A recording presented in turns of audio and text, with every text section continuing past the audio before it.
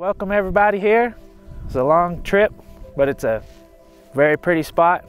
I know for sure that we would not get married in Texas in anything like this. Thank everybody for coming. I'd like to open up with prayer before we get started. Thank you, Jesus, for the gift of marriage, for all the love and joy that it brings to us and to our friends and to our family. We thank you for Fabian and Alex and their family today. I ask that your hand would be upon them from this day forward. Pray that you'd richly bless them as they exchange their vows and wedding rings to one another today. I pray from this day forward that they would walk together in everything that you have destined for them to have and to be. I welcome your presence here today and I thank you for it. In Jesus' name, amen.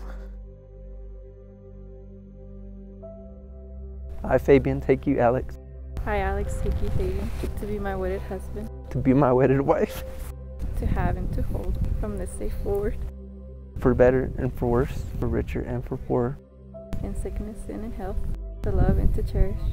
till death do us part. According to God's holy law, I pledge you my love. I pledge you my love.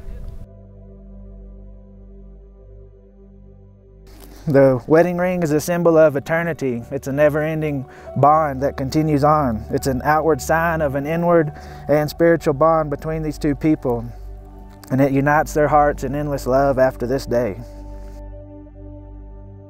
Inasmuch as Fabian and Alex have made vows and exchanged them in the presence of God and these gathered witnesses, by the virtue and the authority invested in me as a minister of the gospel, I now pronounce you husband and wife.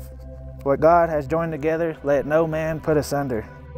Ladies and gentlemen, I count it an honor to introduce you to Mr. and Mrs. Fabian and Alex Herrera. You may now kiss your bride.